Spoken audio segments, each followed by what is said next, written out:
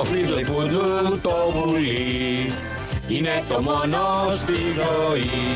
Πριν από πολλά πολλά χρόνια ήταν ένας μαγικός καιρός που όλα τα πλάσματα από τους μύθους και τα παραμύθια ζούσαν στη γη.